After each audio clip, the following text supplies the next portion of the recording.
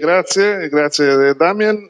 Eh, non faccio commenti, mi sono preso un sacco di, di punti, però evito, non voglio rubare il tempo a, a, al parterre, che, al tavolo che abbiamo qua, eh, perché abbiamo poco più di un'ora, guardo con un'ora, un'ora e un quarto. Insomma. Siamo, voi siete in sette, seduti qua, diciamo sette, abbiamo dieci minuti l'uno, direi, e casomai dopo proviamo a vedere se, se si fa un altro giro.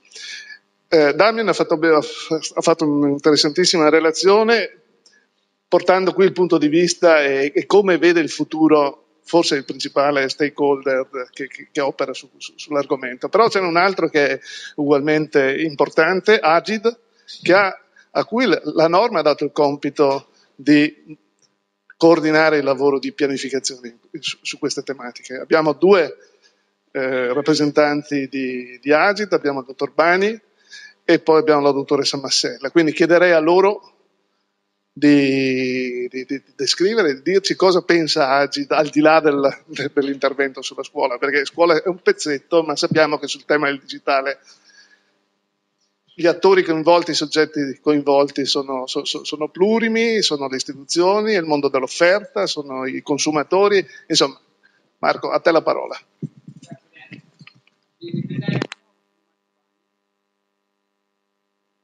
Sentite ora? Sì, ora meglio. Sono Marco Bani e nonostante tutto Agid vive e lotta insieme a voi, quindi fate affidamento su, su di noi anche, anche, in futuro. Anche perché comunque le persone passano, però le istituzioni restano. E ehm, io mi riallaccio anche alla relazione che ha fatto Damien, che oltre a condividere anche una certa età, eh, condividiamo anche gli intenti, le finalità di lavorare insieme per portare avanti quelli che sono obiettivi comuni. Agid in sé non vuole sovrapporsi a ministeri, non vuole sovrapporsi a associazioni, non vuole sovrapporsi ad altri enti, ma vuole cercare, come ha detto anche Renzo nell'introduzione, di eh, elaborare, pianificare, eh, creare connessioni fra i vari stakeholder, fra i vari attori, fra le varie istituzioni che portano avanti finalità eh, comuni, con l'ambizione, questa sì, un'ambizione un po' elevata, di creare poi un paese più, più dinamico, un paese più, più snello e alla fine anche forse quello che è più necessario, un paese più semplice. Vedete, Agid ha tanti progetti, ha tante, fa tante cose, fa tanti tasselli che poi devono portare a un mosaico più ampio, solamente alla fine poi si vede qual è, il risultato finale. Ma sicuramente uno di questi tasselli è competenze digitali. Vedete, in questo minuto, quale ho parlato, ho fatto questa introduzione, ci sono state 48 ore di video caricati su YouTube, 200 milioni di nuove email, eh, 100.000 tweet, eh, 2 milioni di richieste su Google, 700.000 utenti hanno postato qualcosa su Facebook, dalla foto del gatto a un, un video sulla Siria. E vedete, questo vuol dire che non è un problema di produzione, ma è un problema di cosa si produce, cosa facciamo con tutta questa nuova disponibilità di mezzi che abbiamo.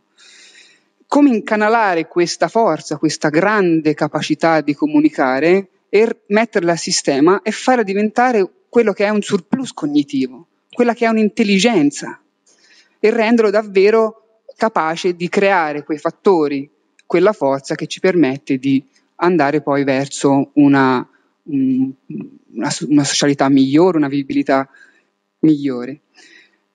Oltre a questo anche il fatto di avere a disposizione tramite il nostro smartphone quello che solamente 15 anni fa era impensabile avere a disposizione in maniera immediata. C'è una citazione di un libro di, si chiama Abundance, Abbondanza, dove segnala che adesso un guerriero della tribù Masai, quindi considerato una, una, diciamo, qualcuno che ha ancora tanto da imparare, ha le, a disposizione le stesse informazioni che aveva Bill Clinton eh, nella metà degli anni 90 attraverso il suo team di super esperti, la sua agenzia di intelligence e altro. Oltre a questo, quindi a, a livello di eh, controllo e comunque di promozione di quello che viene prodotto, eh, per noi fondament- sono fondamentali le competenze digitali anche per una questione infrastrutturale e un dato Istat di dicembre del 2014 segnala come la maggioranza delle persone che non ha internet ancora in Italia, e sono tante, sono 22 milioni, questa maggioranza delle persone non ha internet non per problemi economici o altro, ma per problemi di competenze digitali. Non prende internet, non ha voglia, non sa, non conosce. Questo sta a noi capirlo e cercare di rimediare con delle policy più accurate. E quello che mi spaventa di più è che, sempre nello stesso rapporto Istat, il 50%, e questo è un po' un ribaltamento di uno stereotipo che abbiamo, il 50% dei cosiddetti nativi digitali, quindi la fascia viene racchiusa fra i 6 e i 10 anni, il 50% non ha internet.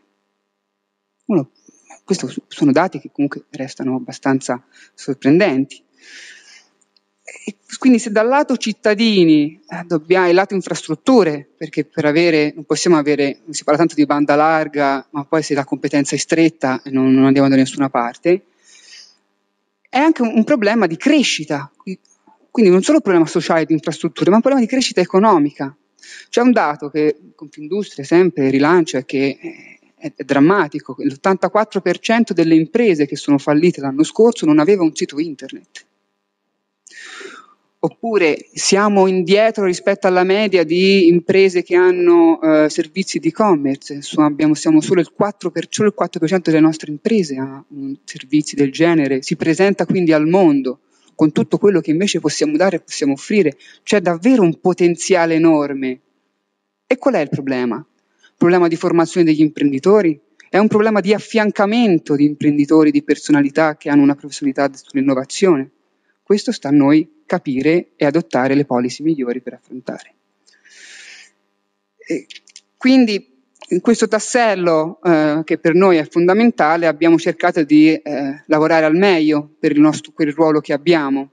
Eh, diciamo che con, nuova, eh, con il nuovo direttore, ma riprendiamo un percorso iniziato, eh, portato avanti dagli uffici dei Diagid, che hanno ripreso un'iniziativa europea che si chiama Grand Coalition for Digital Jobs, lanciata eh, nel 2013 dall'ex presidente Barroso, nata soprattutto per cercare, come diceva anche Damini in America, sta facendo Obama, cercare di colmare quel gap tra formazione e professionalità.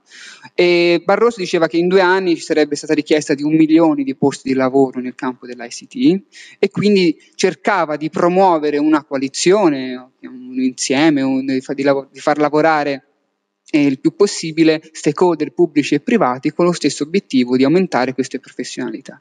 Ecco, noi abbiamo ripreso eh, il, questo, questo, percorso, non, non, abbiamo voluto assolutamente fermare, anche perché l'impostazione di unire e di mettere insieme più eh, attori è sicuramente fondamentale per la buona riuscita di ogni piano. E quindi abbiamo allargato questa, questa Grand Coalition Digital Job e invece di lasciarla solo per, con questo obiettivo abbiamo rilanciato la coalizione con obiettivi più ampi, che comprendesse soprattutto i tre ambiti della società che sono pubblica amministrazione, eh, cittadini e imprese, eh, invitando nuovamente coloro che erano dentro già la coalizione precedente a far parte di, anche di questa nuova e sviluppare anche quelle che sono una strumentazione operativa, cercare davvero di capire come dalle policy che i ministeri, che le, le, la Presidenza del Consiglio, ma che anche le varie associazioni fanno, poi questo si possa tradurre in progetti concreti. Abbiamo quindi eh, creato questa strategia competenze digitali ad Agid insieme eh, a, agli altri attori, che è una costola diciamo, del documento Crescita Digitale 2014-2020 che è stato approvato a inizio marzo da, da, dalla Presidenza del Consiglio dei Ministri e che vede competenze digitali un forte pilastro, è una, addirittura un, considerato un eh, programma di accelerazione insieme a Smart Cities ed altri, altri, programmi di questo genere, proprio perché si capisce l'importanza di, di lavorare su questo, su questo tassello. E questa strategia per le componenti digitali, ma non è un altro documento, quindi non, non, mi, mi, suggerirò di leggerlo altro, è solamente sono dei punti obiettivo per dire, bene, cosa facciamo ora? Facciamo una coalizione e abbiamo appunto quasi 100 membri tra grandi stakeholder pubblici come il MIUR, come il Ministero della Difesa, il MISE, anche grandi stakeholder privati come Google, Samsung, e abbiamo associazioni di categoria, quasi tutte, credo che tutti, quasi tutti i membri di questo tavolo ne fanno parte, proprio per iniziare a, a, far capire, a far comprendere che solamente uniti possiamo portare avanti degli obiettivi comuni e cercare anche di ribaltare quegli indicatori che sul palcoscenico europeo il palcoscenico internazionale ci vedono purtroppo spesso eh, negli ultimi posti o almeno sotto la media. Ma è un problema di percezione, è un problema di non riuscire a integrarci, è un problema di, di, di rischiare di non connetterci al meglio. Ecco, questo è un po' il nostro, proviamo questo esperimento che abbiamo lanciato e abbiamo anche in settimana c'è stato un rilascio pubblico di una piattaforma per le competenze digitali che anche se il nome è ormai abusato vuole essere non un sito vetrina dei progetti eh, che vengono fatti sul territorio sull'argomento ma eh, vuole dare un input, uno stimolo a eh, unirsi, a creare sempre più iniziative, sempre più azioni che hanno degli indicatori mirati e che poi possono concorrere davvero a, a far capire una fotografia di quello che si muove a livello di competenze digitali in Italia. Ma, eh, lo potete vedere benissimo è su competenzedigital.agid.gov.it, quindi non sto nemmeno a eh, continuare a raccontare se poi di impatto lo vedrete. L'idea è appunto di dare visibilità a questa sinergia. Poi ci sono altri strumenti, ma credo che ne parleranno altri a questo tavolo che stiamo portando avanti, in questo spirito di collaborazione essenziale e fondamentale. Anche perché, e qui concludo cerco di prendere tempo anche per gli altri relatori, quello che alla fine Agid vuole fare è essere un po' uno strumento per far respirare le politiche di occupanti digitali, essere un po' il polmone. Quindi cosa fa un polmone? Cerca di prendere l'aria l'aria da, da, da tanti input, da, tanti, da, tante parti, le elabora e poi le rilascia in maniera, si spera, pulito, più pulito possibile. Più l'aria che si respira è più pulita, più che l'aria che si mette sarà buona. E qui si respira un'aria freschissima. Grazie.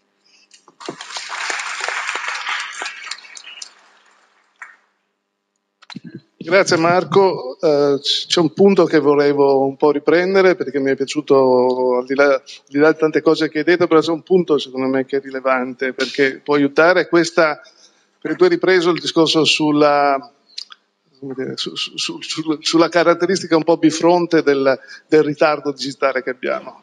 Abbiamo un, un, ritardo digitale che è fatto di, che soprattutto sul fronte delle competenze, che riguarda molti degli stakeholder che abbiamo qua, tutto il mondo dell'offerta. Eh, però non, non, è solo quello il problema, l'hai detto bene tu. Il problema non è solo che ci mancano i, gli specialisti, il problema è un problema di conoscenze diffuse basse. Il ritardo che registriamo sul fronte del, dell'utilizzo di questi strumenti è, è devastante. Siamo 10 punti in meno tutte le statistiche sono più o meno concordi, le, le possiamo leggere in un verso, nell'altro verso, ma, ma, non si scappa. Abbiamo un ritardo molto forte di, di, diciamo di propensione a queste tecnologie, non direi neanche di competenze, ma quasi di propensione. Probabilmente un problema più sociologico che altro. Sicuramente c'è un problema di scuola, sicuramente c'è un problema, ma sicuramente c'è anche un problema di lingua. Lo diceva prima qualcuno, questa mattina qualcuno l'ha detto chiarissimamente, c'è un problema di cultura di questo paese che non è una cultura tecnologica. Eh, quindi abbiamo il, il, problema delle competenze un problema fatto di, quasi di sociologia, quasi di domanda e poi un problema invece vero, un problema di offerta, un problema di competenze specialistiche. Due fenomeni, lo, qualche tempo fa c'era un rapporto che veniva, non, non so, l'ho letto su un rapporto forse Commissione europea parlava di questa interazione, una, una bassa, una cattiva domanda, una domanda poco qualificata chiede poco e fa poco da incentivo allo sviluppo di competenze specialistiche e viceversa, perché una, un'offerta bassa produce servizi di cattiva qualità che invogliano poco la domanda a ingaggiarsi sul terreno del digitale. Eh, chiederei, su questo è un terreno interessante perché questo è un ragionamento che ci può aiutare per capire, per mettere a fuoco quali sono le priorità su cui intervenire, perché se questo è il problema, il problema è sia segmentato che un problema generalizzato, come si fa a affrontare questo, questo, questo bubbone? Probabilmente bisogna spaccare il problema a pezzi. Il lavoro che sta facendo Agid in questi mesi, questo è un lavoro importante che ha fatto di coordinamento, di messa insieme di punti di vista, di tutti i punti di vista, di tutti coloro che operano, serve a ricostruire questa mappa. Allora chiederei ad Enrica Massella di, di, di, se può e se ha voglia di, di continuare su questa traccia. Grazie. eh, certo, mi, riallaccio eh, sicuramente a quello che ha detto prima Marco per dare oh, anche un altro punto di vista eh, che si sta portando avanti nell'ambito del, dell'agenzia tutte le iniziative comunque nascono da quello che è l'impegno che ha eh, assunto l'agenzia, eh, impegno che gli è stato dato dal, ehm, dalla Presidenza del Consiglio legato all'attuazione della strategia della crescita digitale. Questa è una strategia che è legata soprattutto alla digitalizzazione della pubblica amministrazione, quindi un cercare di modernizzare la pubblica amministrazione che in, in questo modo può fornire servizi che siano uh, più semplici per i cittadini e le imprese. È chiaro che non si possono servi- uh, fornire servizi se un'amministrazione alle spalle non ha un back office che funziona uh, come eh, dovrebbe essere, con delle soluzioni innovative che siano in grado tra l'altro di fornire delle risposte non necessariamente come siamo abituati eh, nel passato con eh, strumenti e con canali tradizionali, ma ormai sempre di più la pubblica amministrazione si deve aprire a tutti quelli che sono i, i canali utilizzati, quindi al mobile, ai social, a qualsiasi sia il modo per riuscire a raggiungere i cittadini e le imprese così come loro chiedono.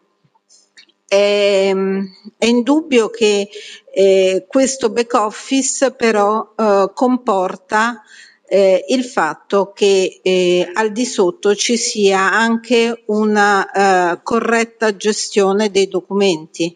Documenti che sempre più sono documenti informatici ehm, non dobbiamo dimenticarci quelli che sono tra l'altro i progetti cardine che sono legati a questa strategia digitale e sono uno, fra è l'anagrafe nazionale della popolazione residente che è un modo per riuscire a raggiungere il singolo cittadino.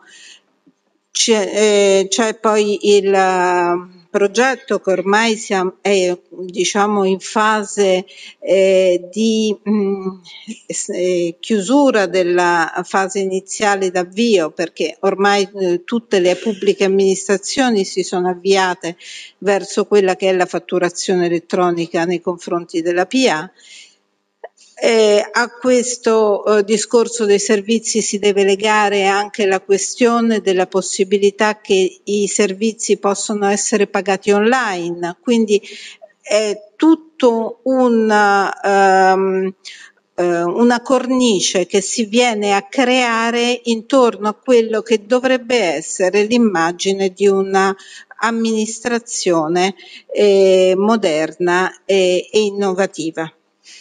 È anche indubbio che, eh, dicevamo, eh, al di sotto comunque ci deve essere anche una corretta gestione di quelli che sono i documenti informatici. E qui mi riallaccio alla questione eh, che accennava prima Renzo, Renzo, e cioè il fatto che bisogna stare molto attenti a quelle che sono le domande e le offerte che vengono, offer- eh, che vengono date in questo specifico momento. E, ehm, e quindi in particolare mi riallaccio ad esempio a quello che sta avvenendo per quanto riguarda il discorso della conservazione dei documenti informatici, perché noi stiamo continuando a generare documenti, generare documenti che però poi eh, non sappiamo come mantenerli. Eh, poco, eh, in un primo momento uno può non pensare a questo dicendo va bene, li appoggio sul mio PC, in qualche modo farò. In realtà se poi, poi vogliamo andare a vedere quelli che sono anche tutti gli aspetti legali legati a una corretta gestione di questi documenti, è necessario che si arrivi a un approccio più strutturato eh, del documento stesso. E quindi ehm, tra l'altro eh, questo è anche richiesto dalla stessa Europa, perché col nuovo regolamento EIDAS che è stato ehm, pubblicato di recente, che entrerà in vigore nel 2016, in realtà eh, questo regolamento richiede che si vada verso quelli che sono definiti i trusted services, quindi dei servizi di qualità, dei servizi fiduciari che eh, la, la, pubblica amministrazione per prima deve richiedere nel momento che domanda al fornitore di fornirgli una soluzione per quelli che sono i servizi che deve erogare. E, ehm, legato a questo quindi ci sono anche tutte le fasi che possono esserci per quanto riguarda l'accreditamento dei soggetti che offrono i servizi di conservazione.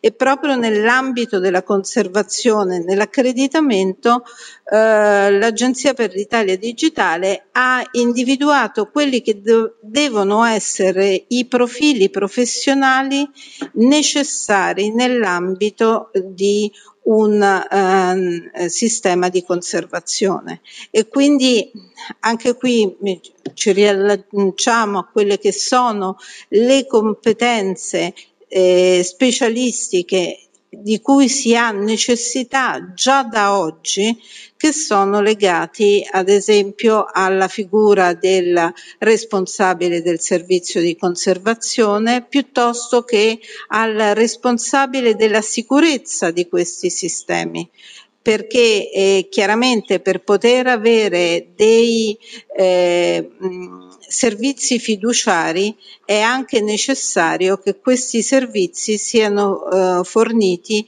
da soggetti che offrono idonee garanzie di qualità e di sicurezza e quindi eh, sono queste delle nuove figure che si stanno eh, delineando come eh, necessarie per una eh, um, eh, corretta eh, gestione del back office di una pubblica amministrazione che mh, tra l'altro nell'ambito Uninfo eh, stiamo vene- eh, vedendo come poterle eh, definire come profili professionali proprio per riuscire a dare ancora maggiore enfasi eh, a questi fi- eh, ruoli stessi.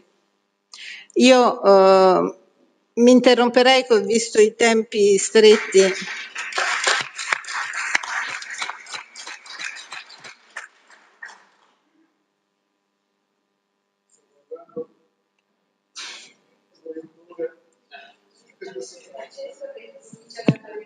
Comincia ad apparire qualcosa perché eh, intanto ringraziamo la dottoressa e il dottor Bani per, per l'intervento che hanno fatto. A questo punto cambierei un po' registro perché finora abbiamo parlato, abbiamo lasciato parlare i responsabili delle istituzioni che siedono sul tavolo della programmazione e che curano gli interventi su, su, sul tema delle competenze digitali, però ovviamente un pezzo della storia ce la devono raccontare eh, gli operatori, chi sta sul campo, chi rappresenta le imprese. Qui a questo tavolo abbiamo, due, abbiamo tre rappresentanti di, del mondo delle imprese, abbiamo il rappresentante, abbiamo Antonello Busetto di Assinform, abbiamo il dottor Ardizzone di Assintel e abbiamo poi Patini di Confindustria Digitale.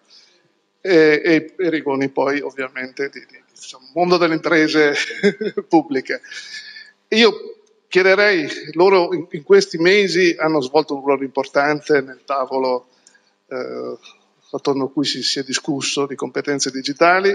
Io lascerei la parola in questo momento ad Antonello Busetto con, e chiederei a Antonello di, di, di raccontarci come lui vede questo problema.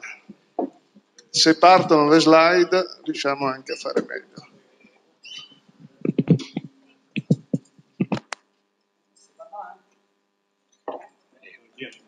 sempre.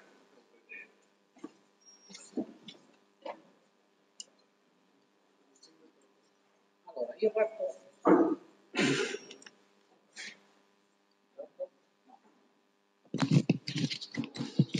Allora, io parto da una domanda che vi ricorda? L'espo. Fochino. Mandi avanti Non è Expo. Ah. È il digitale. Il digitale, l'energia per l'innovazione e il nutrimento per la crescita. Noi abbiamo sintetizzato in questo modo, eh, ammiccando un po' ad Expo, eh, quello che per noi significa la rivoluzione digitale. Il digitale come strumento, il digitale come eh, veicolo, il, il, digitale come cultura. Oggi qui si parla di questo aspetto. Questo è il, il titolo del nostro prossimo convegno che faremo in Expo, forse, se parte, e, e abbiamo voluto proprio declinarlo in questo modo per sottolinearne l'estrema importanza. Per noi il digitale vuol dire tante cose, ma essenzialmente vuol dire quattro questioni. Una di queste è l'education, le altre sono le imprese, le pubbliche amministrazioni e le tecnologie. Abbiamo sintetizzato tutto quello di cui stiamo parlando. Quattro cose, education, tecnologie, pubbliche amministrazioni e imprese. Allora, qui dentro, uh, in questa slide, ci sta quello che abbiamo detto quando uh, Confindustria ha fatto l'audizione recentemente sul DDL 2994, che è quello per la riforma diciamo, del, del, dell'istruzione e della formazione, e leggo testualmente Confindustria, quindi parlo a, a nome della casa madre, dove ovviamente eh, noi eh, di cui facciamo parte, questo è un pezzo dell'audizione, considera molto positiva la previsione all'articolo 5, innovazione digitale e didattica laboratoriale, che contiene la delega al MIUR per elaborare il piano nazionale scuola digitale. Si tratta di un piano di fondamentale importanza sia per garantire la giusta dotazione infrastrutturale alle scuole, sia per la formazione dei docenti e degli studenti verso le competenze digitali. Una scuola più digitale aiuterà i giovani a comprendere meglio i processi di cambiamento ed evoluzione delle nuove tecnologie, ma anche le amministrazioni scolastiche a semplificare e snellire procedure burocratiche complesse e onerose. Significativa altresì è la previsione di collaborazione scuola-impresa, è già stato detto più volte questa mattina, per lo sviluppo delle competenze digitali. Qui c'è effettivamente la sintesi di quello che è il problema, la sintesi di quelli che sono i percorsi che deve fare un cittadino, che domani sarà un cittadino lavoratore, per essere al passo con i tempi. Quindi affinché l'Italia sia un paese moderno, un paese avanzato, uno dei G8 si diceva una volta, e noi vorremmo riconoscerci ancora in questo valore. Purtroppo stiamo faticando un pochettino, noi in Confindustria ne sappiamo qualcosa, però effettivamente dobbiamo giocarci la partita della competitività, non mi vanno avanti le slide, non capisco come mai, è un po' lento questo PC, eh? è digitale. E, e, um, ecco qua. Allora, per misurare lo stato di avanzamento di, eh, questo, di questo fenomeno, con i colleghi Andrea e, e Luca abbiamo l'altro anno pubblicato insieme con Agid, vedete in alto eh, i soggetti che hanno fatto questo lavoro, abbiamo pubblicato il primo osservatorio sulle competenze digitali perché ci siamo resi conto tutti noi, lato imprese, quindi Confindustria, Confcommercio, Assinter, che era AICA, da quest'anno c'è anche AICA, eh, ringraziamo per l'attenzione e per la partecipazione, siamo resi conto che è un tema fondamentale, uno dei quattro pilastri dello sviluppo di cui parlavo all'inizio. Quest'anno pubblicheremo, questa è il, la copertina, diciamo così, del nuovo rapporto, il, il nuovo rapporto, ma forse ve ne parleranno anche i colleghi, se non ricordo male come ci siamo divisi un po' i compiti per l'intervento oggi pomeriggio.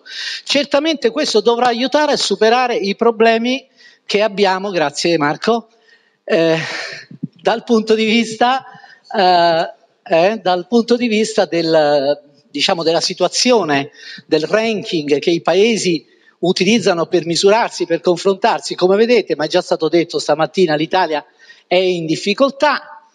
è in difficoltà, è in difficoltà, ma perché in difficoltà? Per tanti motivi. Uno di questi è pure forse il fatto che noi non riusciamo dal basso a creare competenze che sono competenze che poi vanno a lavorare nelle imprese, nelle pubbliche amministrazioni, nelle scuole, andiamo avanti di una.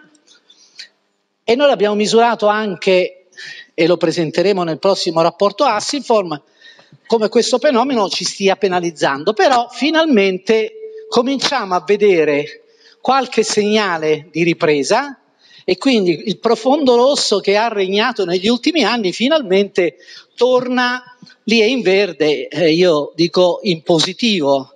E quindi noi ci aspettiamo che effettivamente il paese Italia, che ha fatto un po' di fatica, è arrivato un po' in ritardo nel capire l'importanza della digitalizzazione delle imprese, delle pubbliche amministrazioni, delle famiglie, dei cittadini, che possono appunto trarre da questo, da, da, degli studenti, dei professori, possono trarre vantaggio, finalmente sembra recuperare.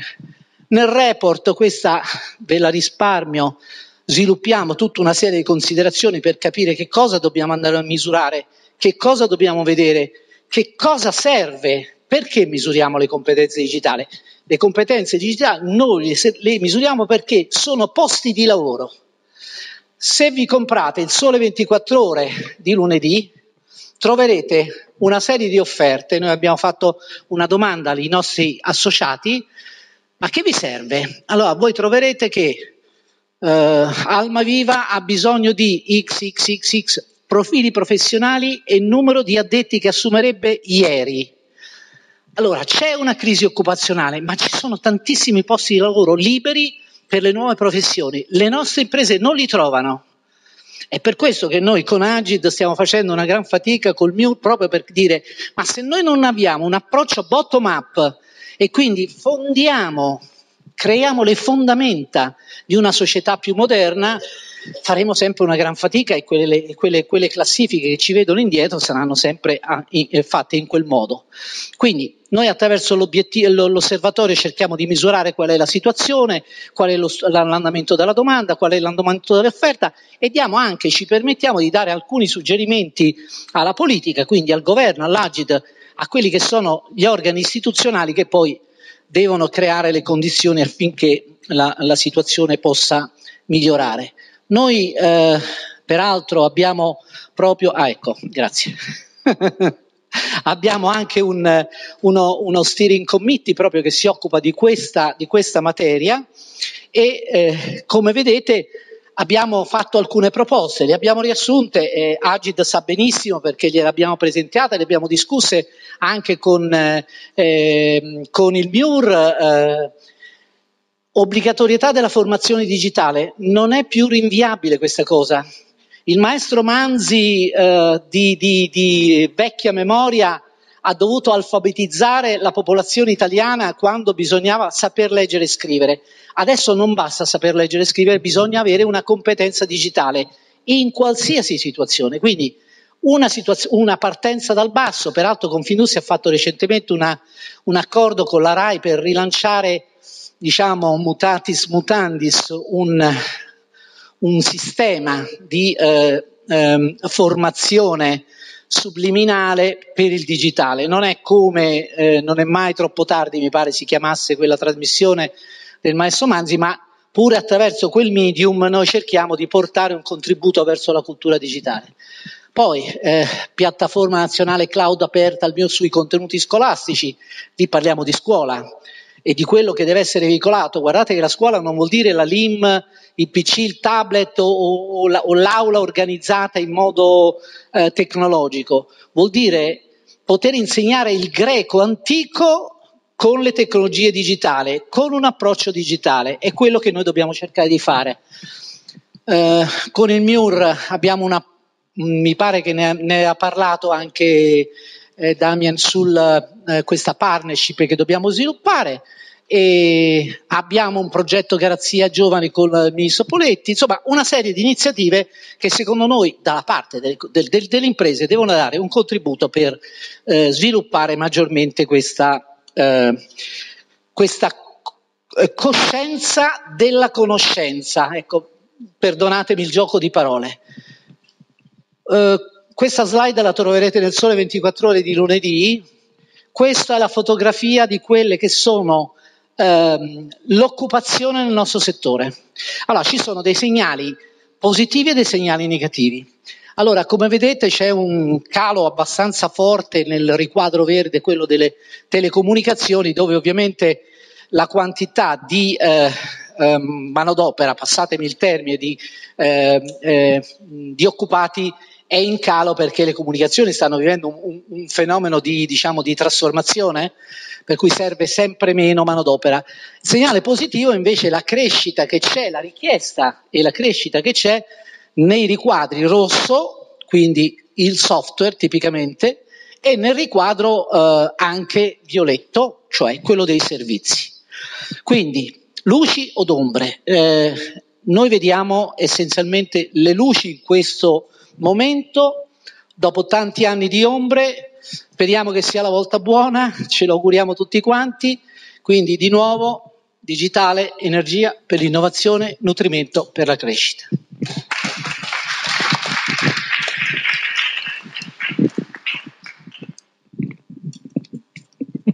Antonello era molto tempo che non si sentiva in un luogo pubblico parlare dire qualcosa di positivo sul settore. Dico, ne prendo nota perché era un po' di anni che, che registravamo solo segnali negativi e lo, stiamo tornando verso il positivo, è quello che ci aspettavamo, si sapeva che stava arrivando, tu confermi un trend che c'è, eh, i segnali sono ancora ovviamente, il panorama non è un panorama stabile, è ancora molto incerto, stiamo parlando di qualche segno, però lo, lo, lo faccio presente a tutti perché... Ah, esatto, adesso chiederei al dottor Ardizzone il punto di vista di, una, di, di un'associazione di categoria parallela a Sintel. Beh, buongiorno a tutti, grazie per l'invito. Io sono Ardizzone e lavoro in Assintel. Assintel sì, è un'associazione parallela di, di Assinfom, diciamo che è l'altra parte del mercato dell'offerta. Se vogliamo suddividerlo in due grandi gruppi, la grande impresa dell'offerta piuttosto che la piccola e media impresa sul territorio, quella capillarmente presente sul territorio, ecco, quella piccola e media impresa è rappresentata da Assitel. Eh, noi siamo attenti a questi fenomeni da anni, da, da, da parecchi anni, Confermiamo anche noi eh, questo fenomeno all'interno di quello delle competenze digitali, quello della formazione, quello dell'allineamento eh, delle competenze scolastiche eh, dei giovani alle richieste eh, delle imprese. Eh, io vi ruberò qualche minuto, avendone prestati alcuni dei miei dieci ad Antonello, ma d'altra parte era giustificato visto lo show che ha fatto, è stato veramente molto, molto interessante e il modo in cui anche l'ha detto. Eh, confermiamo anche noi dal nostro osservatorio eh, ASIT il fatto che il mercato in effetti eh, dia dei segnali eh, di positività eh, e quindi questo giustifica a maggior ragione il nostro essere ottimisti. È da leggere questa positività. Anche noi eh, dichiaravamo a ottobre un segnale quasi vicino all'1% positivo, ma è fatto in effetti da una crescita quasi a due digiti di quella che è considerata la, eh, sono considerate le soluzioni in, in, ambito di economia digitale e una continua decrescita di quella che è l'information technology tradizionale. Quindi questa lettura a noi eh, serve per dare i giusti indirizzi, i giusti, dare i giusti suggerimenti alle imprese che eh, si, eh, sul territorio si occupano di, di tecnologia e degli investimenti che devono effettuare eh, per cambiare il modo di operare o l'approccio che hanno sul mercato perché si devono indirizzare veramente a risolvere problemi di natura digitale delle imprese.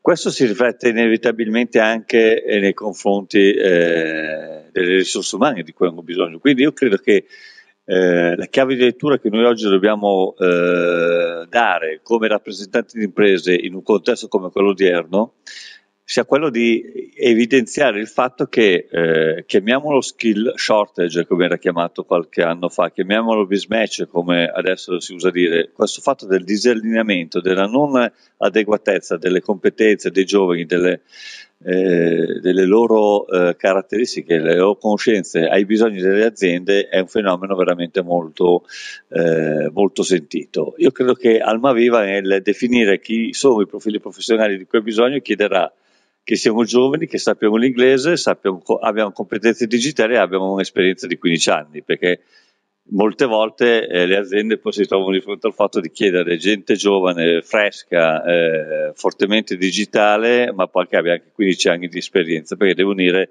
una serie di competenze. È, è cambiato completamente eh, il mondo.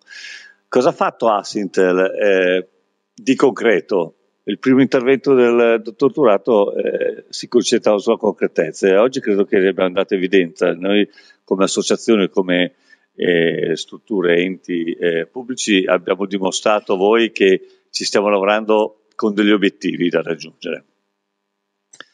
Antonello ha anticipato, ha detto eh, in maniera eh, fantastica lo sforzo che abbiamo, stiamo mettendo sul campo per la, la realizzazione di un osservatorio permanente eh, osservatorio delle competenze eh, digitali. Eh, qualche anno fa Assintel lo realizzava autonomamente, ha voluto farlo insieme ad altri amici perché solamente compatti uniti eh, riusciamo probabilmente a portare avanti certi messaggi. Ai tempi noi lo chiamavamo osservatorio delle, dei profili professionali.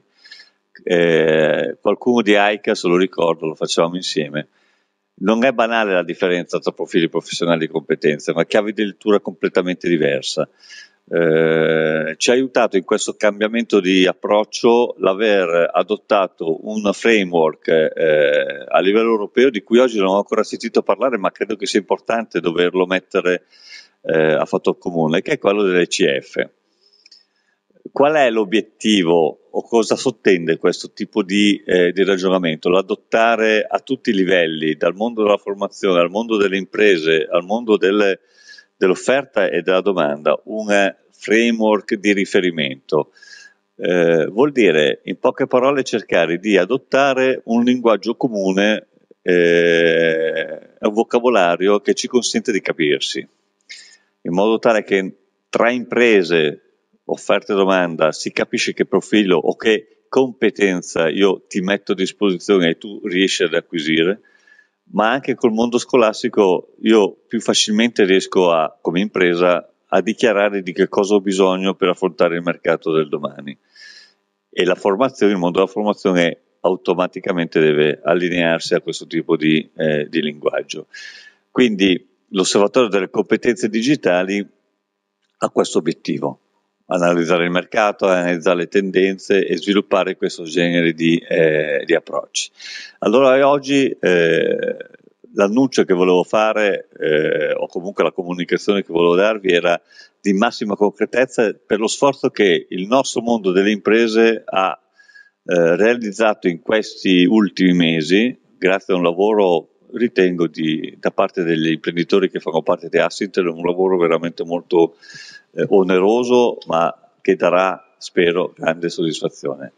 Ecco, eh, uno dei contratti più utilizzati nel mondo delle imprese è il contratto del terziario, che lega l'imprenditore, l'imprenditoria, il mondo datoriale ai lavoratori eh, della propria organizzazione, oltre al metalmeccanico, sono i due pilastri di maggiore utilizzo. Il 30 marzo eh, dopo mesi di liturgie e di eh, capricci tra il mondo datoriale e il mondo dei sindacati dei lavoratori, il 30 marzo è stato siglato un rinnovo eh, del contratto che quindi mette a disposizione uno strumento di lavoro importante e rinnovato nei, in molti, molte parti, di, in molti articoli per milioni di lavoratori ed, esisterà, ed esiste una sezione specifica che è l'articolo 100 bis. L'articolo 100 bis eh, consente una nuova classificazione, cioè illustra una nuova classificazione eh, del personale per le imprese che si occupano di information technology.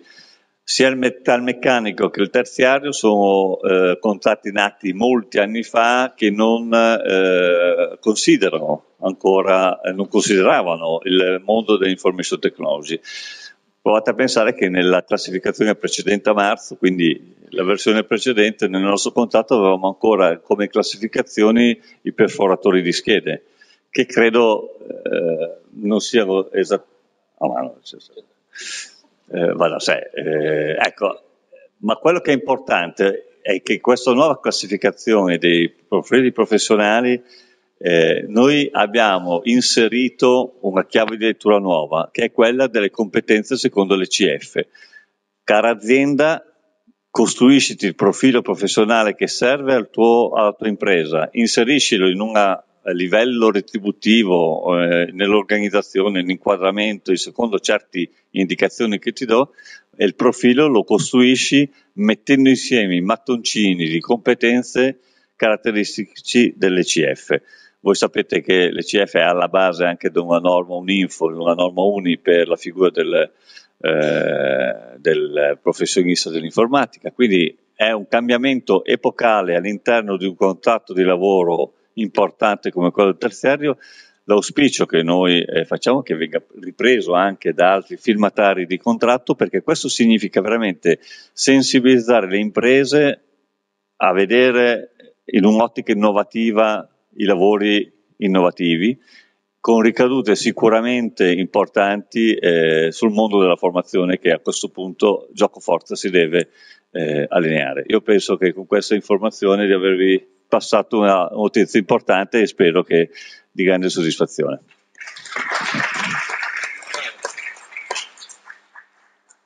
Benissimo, grazie dottor Artizzone. Volevo solo segnalare una cosa, eh, perché la seconda volta, tra l'altro io non, c'ero ieri, però questo tema del mismatch nei processi di entrata mi pare sia un tema che emerga con forza. Notate bene che è un tema che contraddice i dati del, dello scoreboard della, dell'agenda digitale europea. Quello scoreboard ci dice che il nostro panorama dell'occupazione è un panorama a, bassi, a basso contenuto IT a basso contenuto di, di, tecnologie digitali. I nostri occupati, il 30% dei nostri occupati, vi ricordo, dichiara il 35%, 36%, dice di usare regolarmente strumentazione ICT quando lavora. Il fatto che nei nuovi processi di entrata ci sia un, invece, i nuovi processi trovino un vincolo sulla disponibilità di manodopera qualificata sembrerebbe dimostrare che la nuova offerta, la nuova domanda di lavoro è una, una domanda di lavoro di, con contenuti digitali diversi dal passato. Questa cosa introduce bene eh, Franco Patini, Confindustria Digitale, ha già parlato di ECF, lo conoscete, il, il paladino è stato ed è stato il paladino di ECF in questi anni, quindi lascio a lui la parola. No, il paladino di ECF, anzi a questo proposito eh, un pensiero a una persona che è venuta a mancare tre giorni fa, Clementina Marinoni, molti di noi l'hanno conosciuta, è stata veramente ci ha lasciato in modo inatteso, ci ha lasciato sgomenti.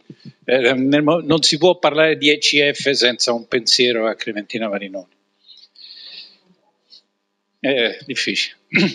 Allora, io semplifico perché mm, a me viene bene semplificare, non so se perché sono semplice o perché mi viene bene. Vorrei ritornare a studio ergo lavoro e eh, partire da un concetto che credo tutti condividiamo e poi trarre qualche conseguenza. Il concetto cui che credo tutti condividiamo è che nel passaggio da un ragazzo che esce dalla scuola o dall'università ed entra nel mondo del lavoro eh, dovremmo avere uno scenario fatto nel seguente modo. Non è così, ma credo che siamo tutti d'accordo a tendere. Tutti i ragazzi, qualsiasi percorso di studio, escono appunto dalla, dalla scuola o dall'università e dentro nel mondo del lavoro, dovrebbero dividersi in due categorie, una piccola e una enorme. Quella piccola che dif- definirei fascia nera come se parlassimo di judo, sono quelli che faranno gli specialisti dei sistemi digitali, cioè quelli che li realizzano, i tecnici, che badate bene, ve lo dico senza, eh, non so se i miei amici delle rappresentanti delle imprese mi contraddiranno, tendenzialmente tenderanno a diminuire. È inutile ci illudiamo, cioè il mercato degli specialisti veri e propri, i grandi specialisti tenderà sempre di più a diminuire e questi sono la fascia nera. Tutti gli altri, mi verrebbe da dire 50 sfumature di grigio, eh, so, eh, eh, tutti gli altri ragazzi in realtà devono avere conoscenza, consapevolezza, cultura anche critica dei sistemi digitali. E su questo credo che siamo tutti d'accordo. Non è facile, il mondo della scuola conosciamo la sua complessità, ma ci dobbiamo sicuramente arrivare. Noi qui al tavolo abbiamo quattro tipologie di stakeholder, se mi so, consentite. C'è l'Agid che eh, definisce, collabora alla definizione delle politiche perché il Paese sviluppi culture e competenze digitali. Ci sono due rappresentanti della formazione, il Ministero della Pubblica Istruzione e la scuola, non ce lo dimentichiamo mai, della pubblica amministrazione, che pure ha un ruolo sulle competenze digitali importanti.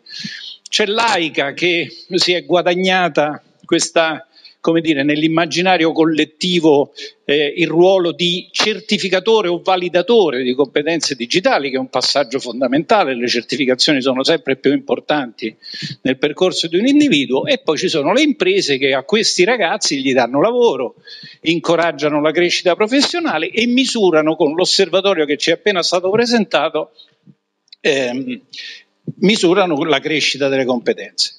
Ebbene, però perché questo sistema funzioni, io vorrei, e faccio un passetto successivo, affermare un principio e eh, guardo l'amico Laffri che eh, ha presentato benissimo le idee della scuola e dello sviluppo digitale.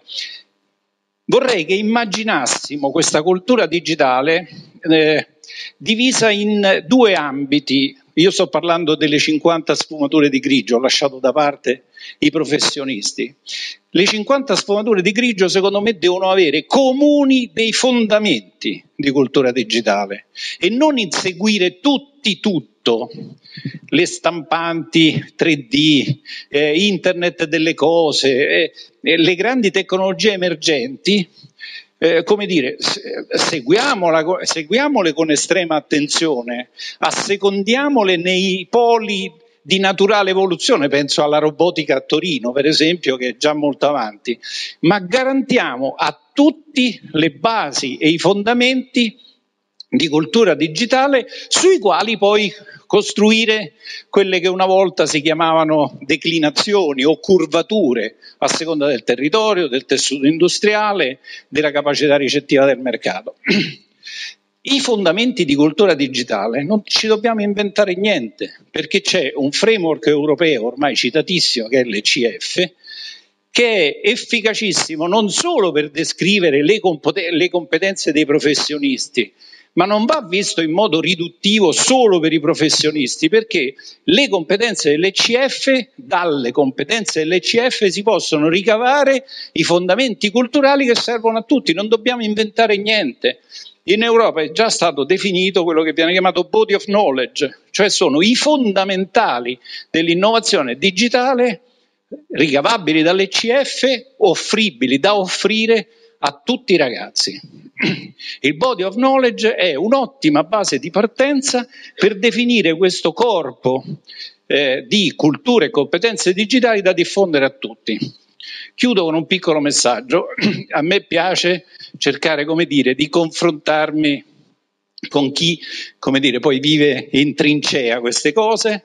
Ho provato a girare a Roma per licei classici e scientifici Bene, la reazione dei professori dei licei, del classico e dello scientifico a questi discorsi è entusiasmante.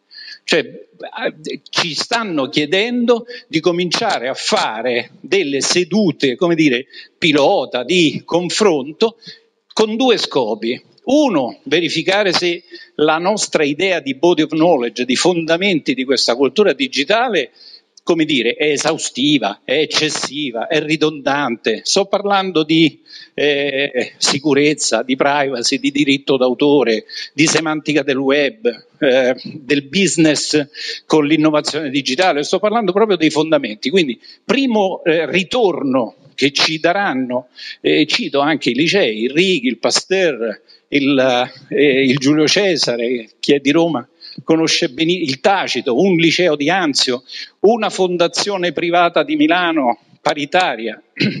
Allora, primo ritorno è la compatibilità, la coerenza e eh, la coincidenza di valutazione di essenzialità di questi argomenti tra una proposta di una persona che viene da Marte, perché io vengo dal mercato informatico, e un preside dei professori di liceo, professori di italiano, matematica, fisica, eccetera.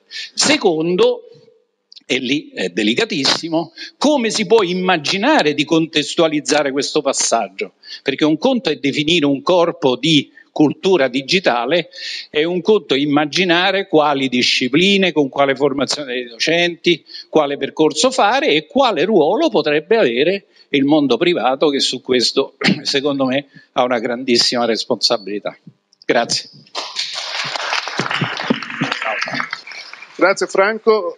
A questo punto, prima di lasciare la parola poi al Presidente di AICA per il suo intervento, chiederei a, a Luca Rigoni di, di, di di darci il suo punto di vista e, e l'ho ottenuto un po' verso la fine perché è vero, lui rappresenta il mondo delle imprese, un, rappresenta uno stakeholder importante su questo tavolo, però un mondo delle imprese che sono vicine alle istituzioni regionali e in questo momento le istituzioni regionali, quando parliamo di programmazione, stanno svolgendo un ruolo, un ruolo fondamentale. Quindi Luca.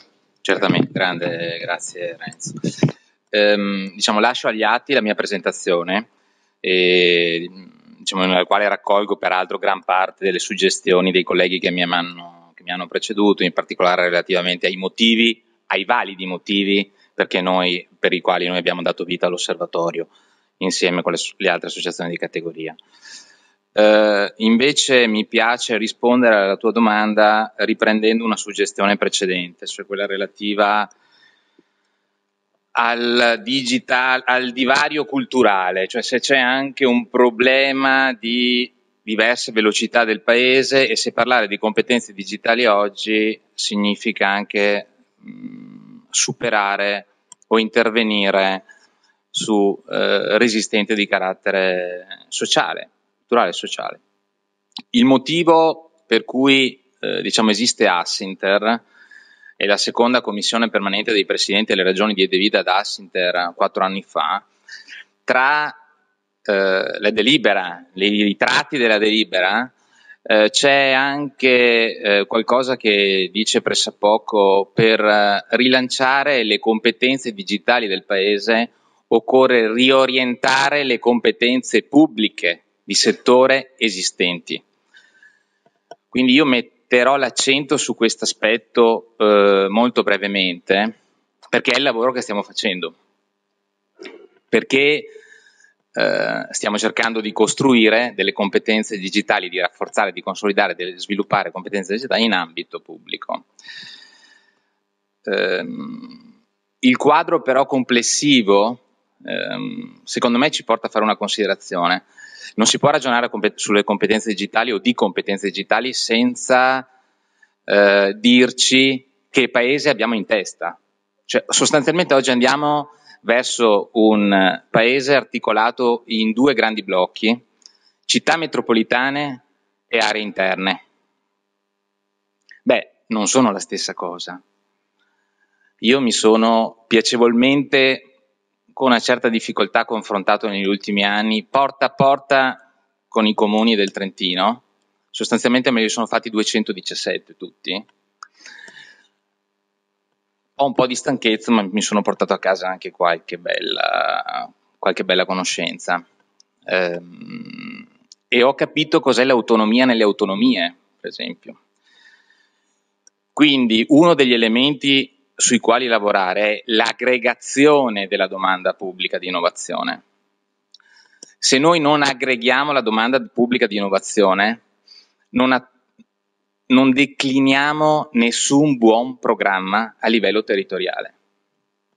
Qui le regioni hanno delle responsabilità, sì certo, le abbiamo tutti, anche le regioni hanno delle responsabilità, però questo non è un momento uguale agli altri, è un momento in cui prendendo atto delle proprie responsabilità eh, c'è una velocità diversa da innescare.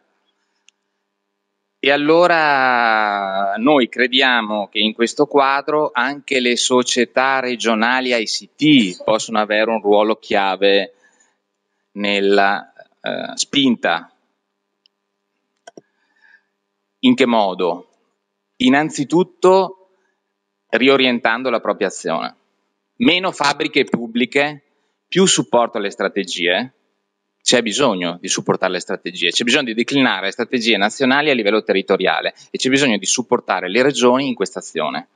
Significa scelte aziendali organizzative nuove e diverse, significa riorientare le competenze esistenti e acquisirle laddove mancanti, fare definizione delle politiche, fare programmazione, accompagnare, e qui eh, una delle ragioni per le quali lavoriamo insieme con, con le imprese è accompagnare il rapporto con i fornitori a livello territoriale, cioè quella, quell'incrocio tra esigenze dei territori all'interno dei territori dei sistemi regionali e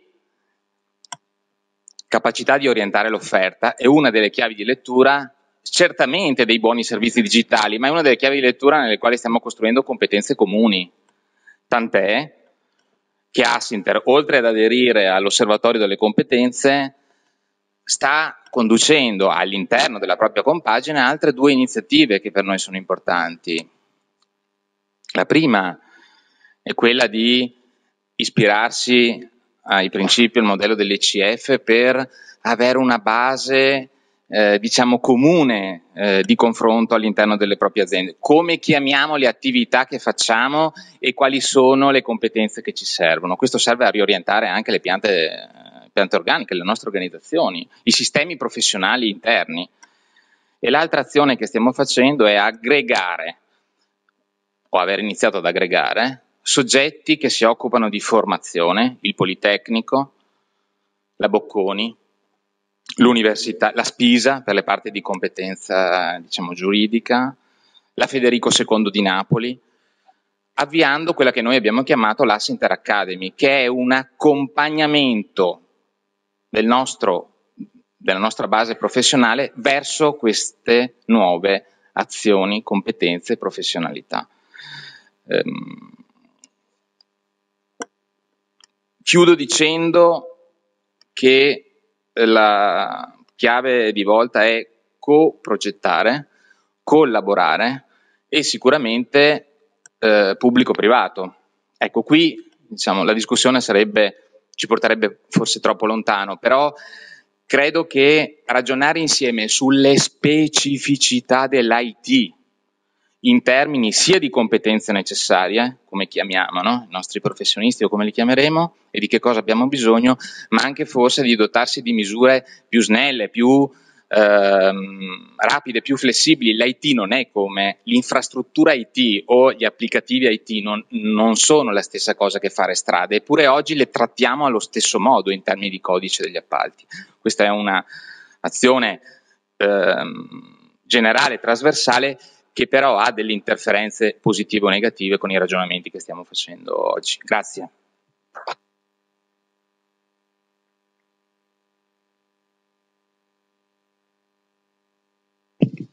Um, prima di la, allora, dottor Lamborghini, siamo arrivati alla fine, eh, mi pare che abbiamo, la discussione ha, ha, sollevato un sacco di problemi, sono un sacco di spunti che io ho riempito alcune pagine di, di appunti e la mia sensazione, a sentire quello che è uscito da, da questo tavolo, è che di materiale e di spunti su cui lavorare per quello che sarà il lavoro di programmazione da fare da qua ai prossimi, noi, ai prossimi anni, ai prossimi mesi, perché oramai siamo abbastanza vicini, di spunti ce ne sono tanti e di anche sollecitazioni ce ne sono tante. Eh, io ve ne ricordo qualcuna perché mi, mi, alcune cose no, mi, non mi sento, cioè, mi dispiacerebbe proprio non dirle. Ecco mi è piaciuta molto la parte di Damien Manfrey quando, e, e, l'idea di fare un'idea un po' che traspare, non so se, sia, se, se la dico bene, se loro si offendano, ma questa idea di fare una sorta di piano regolatore, cioè l'idea di, che, che, che, la scuola, la, il problema scuola, il digitale della scuola non lo si fa con i progetti, lo si fa facendo intanto regolazione, trovando dei denominatori comuni, delle regole comuni e, e, e, e anche il fatto, il modo in cui al loro interno stanno ragionando su macro aree, separando tra competenze, infrastrutture, contenuti. La questione del procurement è venuta fuori, secondo tema importante che tendo, che voglio sottolineare. L'hai detto tu, l'hai detto anche, l'avete detto tutti quanti qua in qualche modo. L'innovazione non si compra, l'innovazione, soprattutto quando parliamo dell'innovazione nel settore pubblico, è difficile, non si compra quell'innovazione, bisogna costruirla assieme, la costruiscono i fornitori e la costruisce la pubblica amministrazione. E va detta questa cosa, su questo lasciatemi dire qualche motivo, qualche elemento di preoccupazione ce l'ho pensando a quello che sta bollendo in, nelle aule parlamentari sul tema dei lavori pubblici, eh, non vanno, cioè, le regole con cui si compra innovazione non possono essere le regole con cui si fanno i ponti. Cioè, software e ponti sono cose diverse, dobbiamo riuscire a trovare un modo per metterli in piedi. E il rapporto pubblico-privato non è necessariamente una cosa da contrastare, è un rapporto che va regolato, ma la pubblica amministrazione, io non voglio parlare del lavoro che faccio io, però lo sappiamo, nelle pubbliche amministrazioni non ci sono capacità tecniche di, front- di frontiera, tranne ovviamente alcuni importanti e rilevanti casi, ma nel, la pancia della pubblica amministrazione è una, pa- una pancia che non ha grosse competenze. Terzo tema importante, l'ingaggio che vedo e l'importante contributo che possono dare le associazioni di categoria in questo lavoro.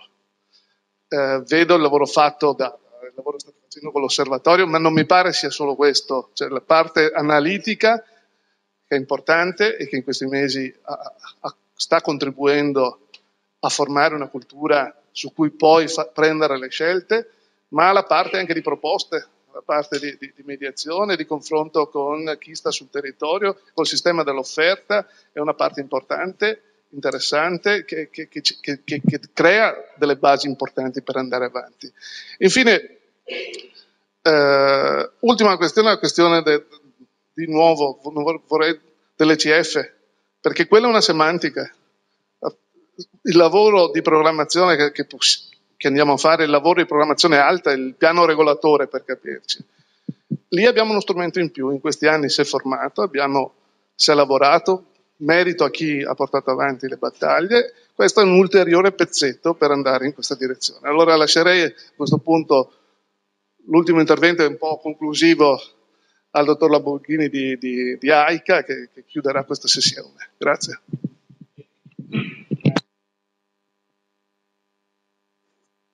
Funziona? Sì, grazie a tutti. Ecco, eh, volevo esprimere prima di tutto un, un, grande ringraziamento a tutti i partecipanti a questo, come AIC, a questo partecipante a questa tavola rotonda, perché veramente ha creato valore aggiunto, devo dire, che ci ha, ci ha dato delle cose in più. Ed è, eh, il Presidente Turatto l'ha già detto, ci sono alcuni stimoli importanti che sono venuti fuori da questa tavola. Devo dire anche che oggi siamo al termine quasi di due giorni di attività di drammatica, ma abbiamo visto tante cose, anche ieri, anche stamattina. Direi che è eh, molto ricco questo, questa cosa, quindi ringrazio tutti i partecipanti. Ecco, io riprenderei, eh, come l'ha fatto anche il Presidente Turato, un, parola, due parole di Damian Lanfrey che mi sembra importante. Lui ha parlato di partnership, no? di necessità che tutti si impegnino in questa fase, perché non è una fase tranquilla, business as usual. Qui stiamo rivoluzionando tutta una realtà lavorativa, scolastica, eh, imprenditoriale, istituzionale. Ed è un momento in cui, eh, voi sapete, le reti digitali funzionano se tutti i nodi sono attivi. Se invece abbiamo 22 milioni di italiani che sono fuori da questo discorso, hai un bel creare delle strutture innovative, hai un bel creare l'identità elettronica, ma se 22 non possono usarla, cosa facciamo? Li mettiamo in un ghetto, questi signori? No, dobbiamo cercare di portare avanti tutto il paese in questa stessa direzione. Sarà una cosa faticosissima, no? Però bisogna farlo, se no è inutile che ci facciamo delle illusioni che poi diventiamo noi eh, come AIC abbiamo la, fre- la, frequentazione di tanti paesi europei, in particolare ne, con alcuni dei maggiori paesi europei che si stanno veramente dedicando un impegno politico fortissimo sulla digitalizzazione, per creare quella che chiamano l'intelligenza connettiva, cioè l'intelligenza collettiva connettiva, come si può dire, no? tutti quanti devono essere connessi, devono riuscire a dialogare, a partecipare, a costruire dal punto di vista politico, economico, sociale, come lo volete, no? Se non c'è questo, siamo fatti, non, non ci muoviamo. Allora, è un discorso che come AIC abbiamo portato avanti da tempo, ormai più di 50 anni che AIC si muove in questa direzione, ma lavorando, credo adesso, lavorando eh, insieme per costruire delle regole. Si è parlato di un piano regolatore anche interessante, cioè definiamo delle regole in cui procediamo insieme, ma definiamole pubblico e privato. Non devono calare dall'alto, devono calare, devono venire dal basso, da tutte le parti. Abbiamo sentito qui tante esperienze di scuole fantastiche, che evidentemente tanti docenti eroici che stanno lavorando benissimo, Ecco, queste esperienze vanno messe in rete, vanno collegate, altrimenti diventa a macchie di leopardo e non riusciamo a procedere.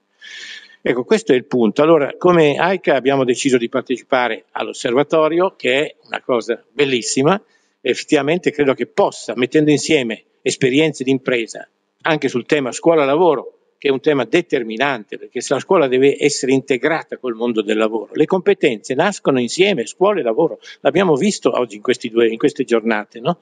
Se non facciamo questo, eh, la, la, Germania ce lo insegna, ma anche altri paesi, ma dobbiamo farlo in maniera particolare noi come Italia, perché abbiamo delle caratteristiche particolari. E quindi è questo il punto.